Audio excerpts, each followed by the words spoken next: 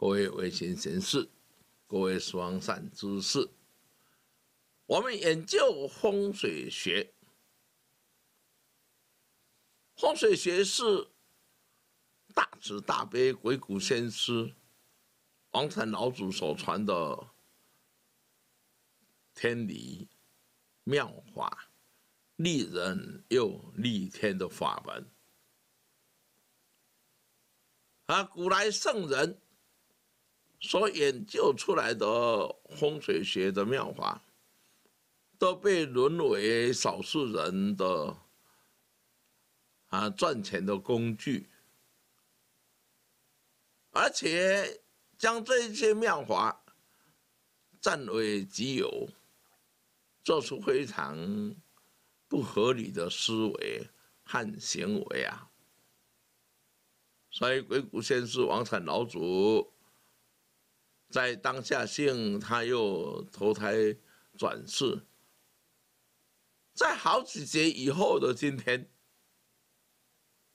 啊，终于将风水学啊重新下定义，啊，重新把这个风水学啊，把它有系统的，而且又非常简单，每个人用得上的妙法，把它阐述了，啊，成为。鬼谷子心法在台湾，哈，这个风水学奥秘，所以这这我用普莲禅师的华语来阐释，啊，阳宅风水学的奥秘。上一节，啊，我们阐述到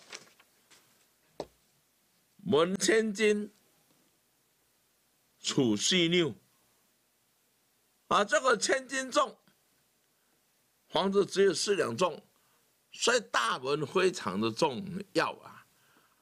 那么今天开始要为各位来讲解风水学的奥秘，就是大文篇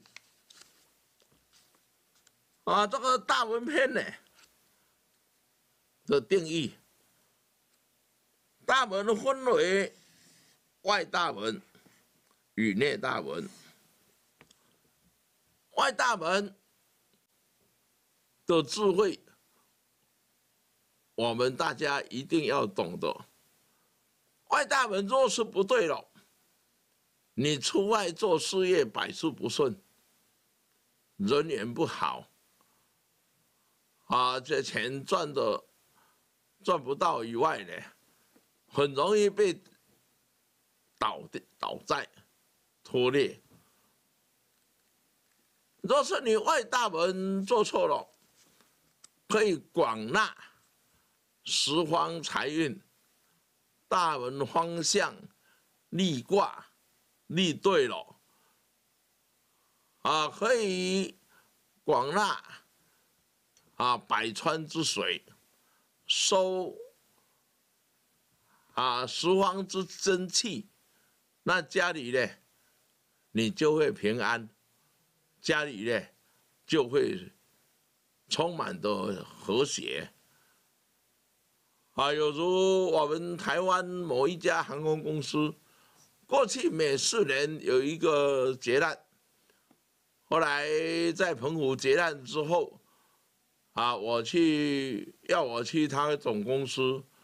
啊，去把它看一下，结果他的外大门就是错了，外大门啊错了之后，我才把它改。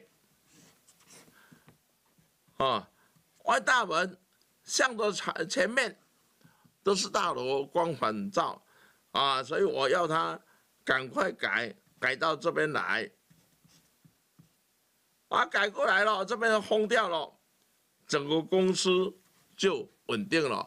所以现在航空业在国际是数一数二啊，经营最好的航空公司。这即是外大门门千金，错是两的真实意呀。